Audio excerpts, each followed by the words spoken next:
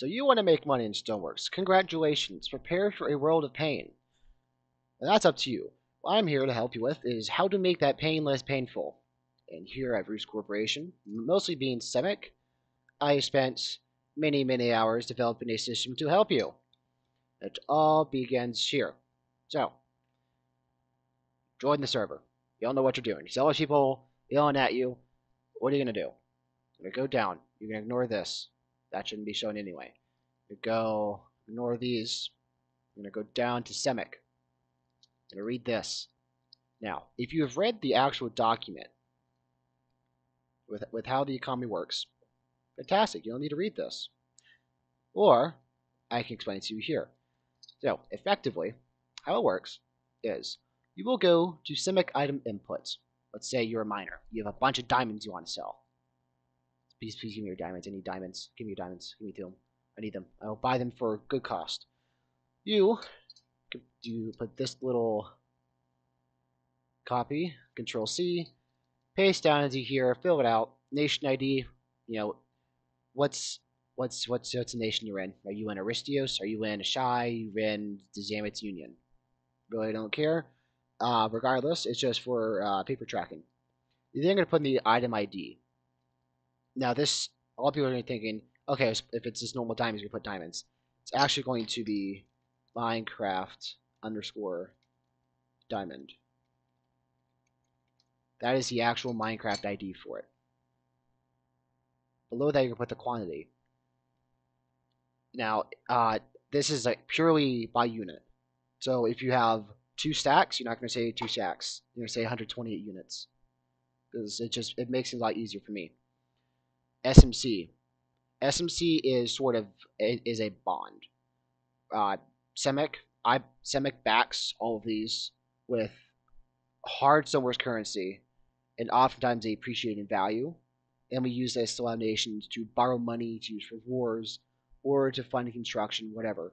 You can speak with me, Sonato Stovania, or whoever this person is when you're overseeing it, for more information on that. The cost per units is where things get a little interesting. So you can put in an offering. Like let's say you're trying to sell gold. Let's say it's or no diamonds. I think the market price is around 45 per unit right now.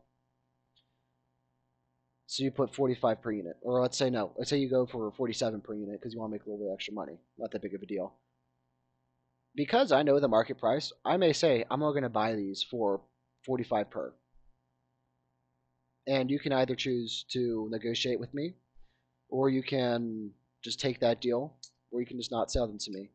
Ultimately, doesn't matter to me either way. I make money regardless. But ultimately, a good business has to buy low and sell high. Speaking of selling high, actually, yeah, um, if it's approved, green check marks are going to be placed, which is going to look something like that. That's when you'll that's when you'll know that it's been approved.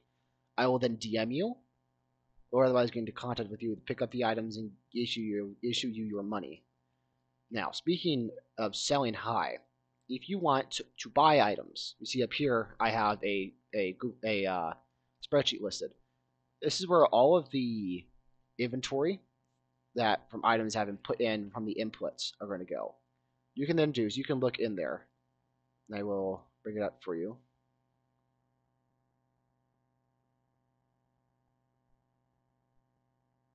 It's going to look like this. It's going to have lots of stuff all the way through here. What you can then see is what's being sold, the quantity, the cost per unit, the supplier, nation ID. This part is just for me, so I know who I'm paying because I have a lot of deals I got to keep up with this. But this is going to tell you what's being sold and for how much. We're going to take the information, plug it into this here, and then we're going to put that in the same way as you did before. The input, we're going to throw it on here. Check mark will be placed, and either one of my people get into contact with you to give you the items. So, um, handling your SMC. SMC is standard market accreditations or accreditations, however you want to say it. You can say however. Generally, SMC is the accepted term. Market accreditations that also works. But with the member nations, and that's going to be in a separate in the fifth channel. Those are going to be nations which are actively accepting SMC as a form of currency.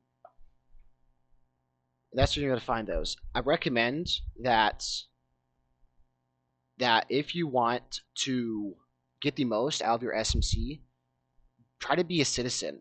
Always be be involved in one of those nations that are accepting it. Otherwise, bonds can be a little bit difficult to get rid of.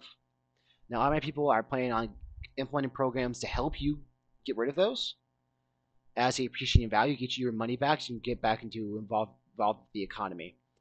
But in case you're really trying to get rid of them, uh, the member nations use them for taxes. You can use government shops.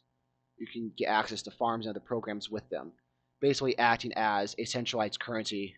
Think of the think of the euro from the from the European Union. It's basically what SMC is. With that, that's all I have for you. Peace and good luck.